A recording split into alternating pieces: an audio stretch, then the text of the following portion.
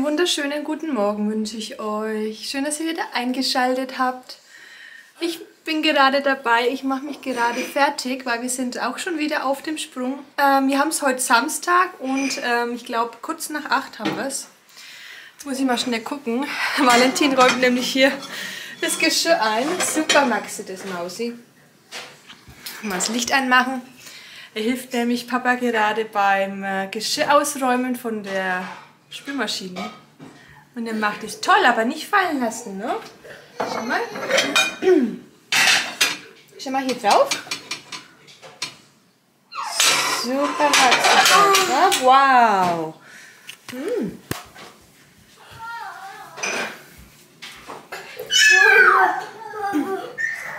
Schau mal hier drauf.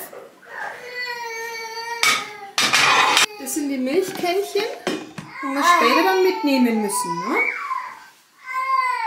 Wir gehen nämlich später auch wieder ähm, Milch holen, weil die uns letztes Mal so gut geschmeckt hat. Wir machen dann immer irgendwie so einen Milchshake draus. Gestern war ich mal im Bioladen und wollte Rohmilchkäse kaufen.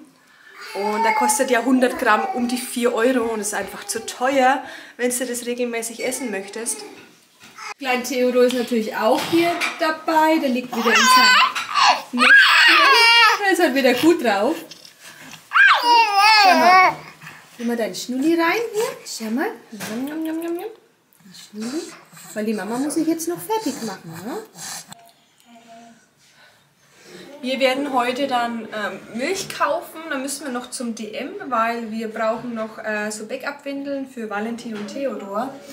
Ähm, für die Nacht ähm, nehmen wir ja immer die ähm, Einwegwindeln, habe ich euch letztes Video schon gezeigt. Und dann müssen wir noch was einkaufen.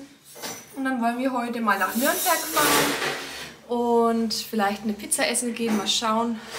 Ein bisschen spazieren gehen. Das hängt jetzt davon ab, wie das Wetter ist, weil wenn es regnet und äh, stürmt, brauchen wir natürlich nicht so weit laufen.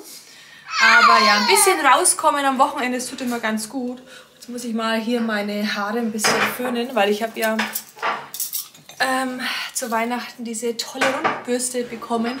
Und ich habe ja eigentlich immer nur meine Haare zu, aber heute will ich sie mal auflassen.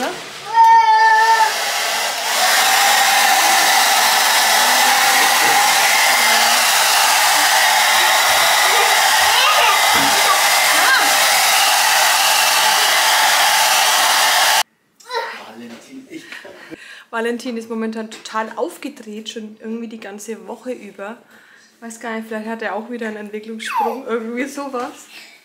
Kleine Maus äh, habe ich jetzt in die Schale. Und ähm, bevor wir gehen, muss ich ihn auf jeden Fall noch stillen. ja, da lachst du. Unsere Nacht war heute relativ ähm, okay, muss ich sagen. Ähm, alle ruhig geschlafen, keine besonderen Vorkommnisse zum Glück. Aber die Nacht war für meinen Mann und Valentin um... Wann seid ihr aufgestanden? Um drei. Na, ich denke mal so um fünf, halb sechs sind sie aufgestanden und ich habe dann bis um sieben noch schlafen können. Weil ich war gestern Abend total kaputt. Also die Woche war wirklich sehr anstrengend irgendwie. Und ähm, ich habe es irgendwie immer noch so einen Schleim im Hals, will einfach nicht weg. Ah, ist er irgendwie, ja, ist der Wurm drin. Was ich euch noch zeigen wollte, ich habe hier schon ähm, den Backup-Rucksack gemacht. Da gebe ich ja nochmal Ersatzkleidung rein für Valentin Theodor. Dann ähm, Windeln und unsere Water Wipes. Die sind ja mega gut äh, für unterwegs und die nehmen wir auch sehr, sehr gerne. Und ja, für kleine Kinder muss immer was dabei haben auf jeden Fall. Dann nehme ich noch äh, zwei Bananen mit, was zum Trinken für Valentin und Knäckebrot. Das mache ich jetzt schnell, bevor ich das vergesse. Und was ich euch noch zeigen wollte ganz schnell, ich habe gestern nämlich noch ähm, Rohkostbrot gemacht. Wir haben ja hier einen äh, Dörrautomaten, den haben wir uns mal geleistet, schon vor zwei Jahren, glaube ich. Und da habe ich jetzt hier Rohkostbrot drinnen, das ist äh, Buchweizen mit Banane, Dattel und etwas Honig, weil ähm, dass wir da mal einen gesunden, süßen Snack für zwischendurch haben, auch für Valentin, finde ich immer ähm, ja, ganz ähm, wichtig und haben wir jetzt noch nie gemacht. Mal schauen, wie der schmeckt. Also Bananen habe ich. Dann nehme ich noch unser Karks Knäckebrot mit. Das schmeckt mega gut. Kann ich euch auch nur empfehlen. Und dann mache ich einfach noch ähm, ja, eine Wasserflasche hier für Valentin. Und für uns machen wir auch noch ein Wasser auf jeden Fall. Wenn wir da jetzt einen halben Tag unterwegs sind, ähm, brauchen wir da auch ein bisschen Wasser. Wir sind jetzt gleich an äh, unserem Zielort. Jetzt müssen wir noch einen Parkplatz suchen hier, weil schon wieder alles voll ist irgendwie. Ähm, ja, und die Sonne ist rausgekommen. Äh, ist total schön. Ich hoffe, es bleibt auch so. Ähm, genau, wir waren jetzt vorhin noch Milch kaufen. Dieses Mal ein bisschen mehr. Und jetzt werden wir ähm, ein bisschen äh, shoppen gehen. Und ich brauche nämlich ein paar Socken. Beziehungsweise ein bisschen mehr wie ein paar Socken, weil ich habe irgendwie keine gescheiten mehr. Und danach werden wir zu unserem Lieblingsitaliener gehen, da freue ich mich total drauf. Alle beide Kids äh, waren äh, total äh, brav und haben geschlafen. Und jetzt werde ich dann Theodor in die Trage schnallen und Valentin wird dann in den Kinderwagen kommen.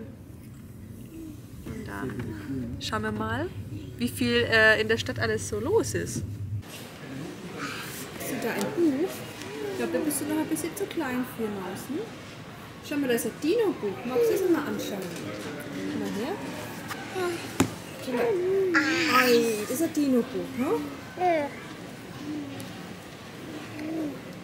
Ganz viele Dinosaurier, aber da brauchen wir eigentlich nichts. Das ist ja klasse. Es gibt so Holzdinos zum Bemalen, das finde ich ganz cool. Kann man dann in die Blumentöpfe reinstecken oder wo auch immer. Das wäre natürlich auch ein klasse Ostergeschenk noch. Was ist denn hier? Mini-Propeller. Aber für Valentin habe ich jetzt schon die Ostergeschenke.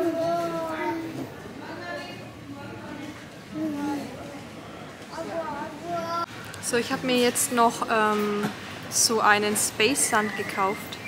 Das ist ein Geschenk, ein Ostergeschenk für meinen Neffen. Ich hoffe, das schaut er jetzt nicht an. Aber ich glaube, es passt ganz gut. Hat äh, 5 Euro gekostet. Möchtest du eine Tüte? Ja, das wäre nett, danke. Bin hier gerade in einem schönen Töpferstand. Mir geholt. Wir sind jetzt hier in unserer Lieblingspizzeria. Wir essen hier unsere leckere Pizza. Ich habe hier mit Rucola, Parmesan. Mein Mann hat hier mit gegrilltem Gemüse und Valentin hat halt ausnahmsweise bekommt er auch mal eine Margarita. Und ja, das lassen wir uns jetzt schmecken und dann würde ich sagen, sehen wir uns zu Hause nochmal. Wir sind jetzt wieder zu Hause. Es war doch ganz schön anstrengend, muss ich sagen, mal wieder. Aber es tut echt mal gut, ein bisschen rauszukommen mit den Kindern. Ähm, aber ich bin jetzt mega platt. Auch mein Mann ist irgendwie total müde. Er schläft hinten schon mit äh, Valentin und ich werde mich jetzt hier ein bisschen auf die Couch hinlegen mit Theodor. Den habe ich hier schon. Aber es hat wirklich gut geklappt heute mit den Kids, muss ich sagen. Die waren total lieb und ähm, haben gar nicht gequengelt. So soll es so soll's auch sein, ne? Aber man kann es ja nicht immer vorhersagen, wie es wird. Ähm, aber wir haben ja lecker Pizza gegessen, wie ihr gesehen habt. Ähm, waren mal wieder bei unseren Lieblingsitaliener. Da war ich immer mit meinem Mann noch vor den Kids. Und ja, da waren wir eigentlich regelmäßig. Und die schmeckt richtig gut. Wenn ihr mal in Nürnberg seid, dann geht doch mal in die Cucina Italiana. Kann ich euch echt nur empfehlen. Ähm, ja, und ein bisschen geshoppt haben wir, aber ich zeige euch später, was wir eingekauft haben. Weil ich hatte ähm, noch Socken benötigt, jetzt für den Frühling. Waren auch teilweise welche im Angebot. Und Ostergeschenke habe ich noch ein bisschen eingekauft. Und auf dem Markt waren wir, genau, ein bisschen Gemüse eingekauft. Ja, also es locker mal über 100 Euro auf jeden Fall haben wir da ausgegeben. Ähm, ich bin ganz froh, ehrlich zu sein, ähm, nicht in so einer großen Stadt mehr zu wohnen, weil da siehst du halt an allen Ecken irgendwie schöne Sachen und dann wirst du immer verleitet, irgendwas zu kaufen. Und hier ähm, ist es halt nicht so. Ne? Ich komme mit den Kindern nicht so oft raus. Ähm, und dafür, ja, es ist immer eine Für und Wider. ist zwar auch schön, in einer großen Stadt zu leben, man hat alles ähm, ja vor Ort, aber man lässt halt dann auch, wenn man nicht so diszipliniert ist, viel Geld. Ähm, und deswegen äh, ja, passt es schon ganz gut, wie wir hier wohnen. Also wie gesagt, ich werde mich jetzt hier ein bisschen hinlegen mit Theodor und ein bisschen ähm, schlafen. Kleine Maus hier wird auch immer größer. Hm? Ja, du bekommst jetzt auch was zum Essen, ne? So, kleine Maus möchte nicht schlafen, obwohl ich total müde bin und auch gerne mich hinlegen möchte. Aber ja, ich kann ihn ja nicht alleine hier lassen, weil Papa schläft hinten mit Valentin. Ach ja, jetzt möchte ich euch noch gerne ähm, unsere Ausbeute zeigen, was wir gekauft haben. Und zwar ähm, habe ich hier einmal wieder die Windeln gekauft für Theodor. Die nehmen wir ja momentan in der Nacht.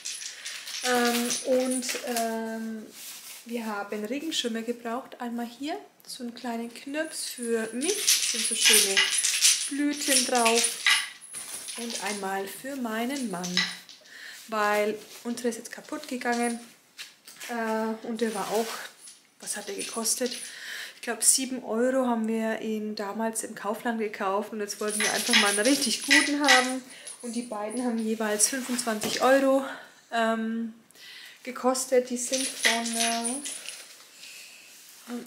Pierre Cardin. Kenne ich nicht die Marke. Weiß nicht, ob ihr die kennt. Ähm, die haben wir im Galeria Kaufhof gekauft. Und dann habe ich noch ähm, mir Socken hier gekauft. Einmal von Tom Taylor, die waren im Angebot für 7,99 und einmal ähm, so Sneaker-Socken von Puma. Die fand ich richtig schön. Die haben 7 Euro gekostet, zwei Paar. Und dann habe ich noch ähm, ja, so einen magischen Sand hier mitgenommen für ein Ostergeschenk für meinen Neffen, fürs Osterei, äh, fürs Osterkörbchen. Hat 5 Euro gekostet. Da bin ich mal gespannt, was er dazu sagt. Und genau, und dann habe ich noch vom Markt ähm, so einen getöpferten Vogel mitgenommen. Finde ich total schön. Und ja, das handgemacht, handbemalt. Ja, was ist denn da los? Hm? Was ist denn da los? Hier. Du bist wieder gut gelaunt, ne? Ja, dann würde ich sagen, ich äh, entspanne mich jetzt ein bisschen auf der Couch. Ich hoffe, dass der Kleine dann ein bisschen ruhig ist. Ähm, und dann, ja, mal schauen. Vielleicht lege ich mich später ein bisschen hin. Ich schaue gerade raus aus dem Fenster. Mega dunkel hier. Also es ist schon richtiges Aprilwetter. Heute Nacht wird nämlich auch die Uhren umgestellt. Aufgepasst, wenn ihr das Video seht, dann müssten die schon umgestellt sein. Ich glaube, es kommt jetzt wieder, ähm, jetzt eine Stunde wieder nach vorne. Das heißt, wir haben es drei, dann haben es eigentlich schon 4 Uhr. Ähm, ja, heute ist ein richtiges Aprilwetter draußen. Und dementsprechend sind wir auch irgendwie kaputt. Ich weiß auch nicht. Dann würde ich sagen, beenden wir doch das Video an dieser Stelle. Ich hoffe, es hat euch gefallen. Gebt mir doch gerne einen Daumen nach oben und lasst ein Abo da. Äh, würde mich total freuen. Und ja, dann würde ich sagen, sehen wir uns beim nächsten Video wieder. Macht's gut. Ciao, ciao.